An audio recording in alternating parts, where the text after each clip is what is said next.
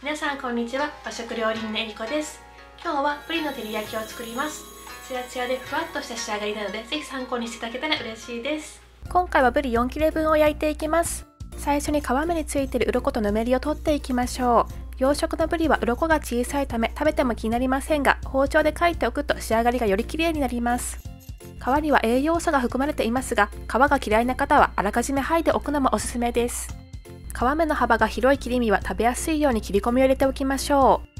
次にバットに塩を振ります。ブリを並べたら上からも塩を振りましょう。これで下味をつけるとともに魚の臭みを取り除きます。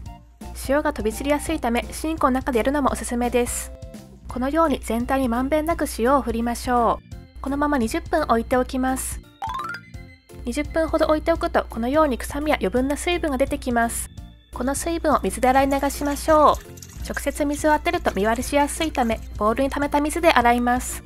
すべて洗い終わったらタオルやペーパーで水分を拭き取りましょう。次にブリの照り焼きに添える大根おろしを作ります。巻きすの上で大根おろすと大根の汁気を切りやすいです。大根が小さくなってきたらフォークに刺して大根おろしましょう。このように無駄なくギリギリまでおろすことができます。大根の汁はお味噌汁に加えると栄養もあって美味しいです。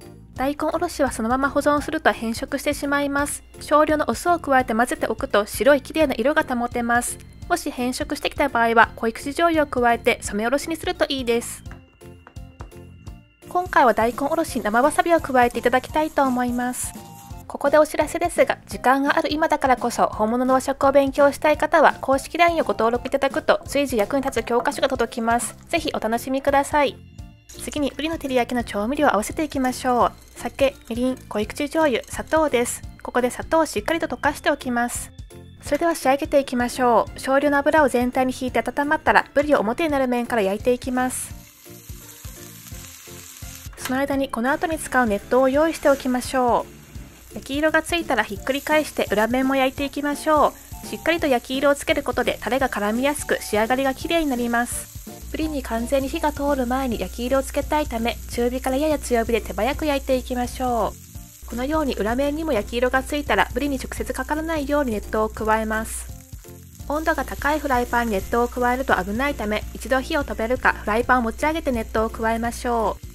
熱湯を加えて油抜きをすることで余分な臭みが抜けブリに調味料が絡みやすく照りも出ます。ブリの3分の1の厚さを目安に熱湯を加え全体に回ったらブリを取り出しましょう。次にフライパンをきれいに洗い調味料3分の1まで煮詰めていきます。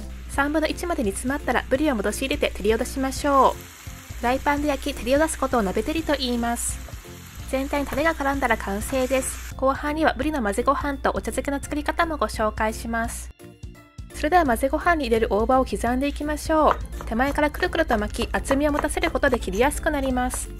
お米2合分に対してぶりの照り焼き2切れ分を使いましょう。これなら人数分のぶりがなくても美味しくいただけます。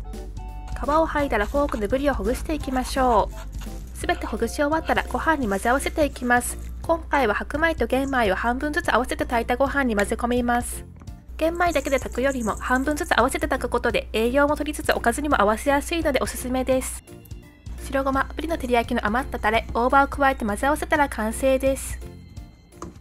はいこんな感じで出来上がったのでいきたいと思います。うん美味しい。はい大葉とごまの香りが効いていてすごく美味しいです。お出汁をかけてお茶漬けのようにして食べてもすごく美味しいのでぜひ参考にしていただけたら嬉しいです。それではまた会いましょう。バイバイ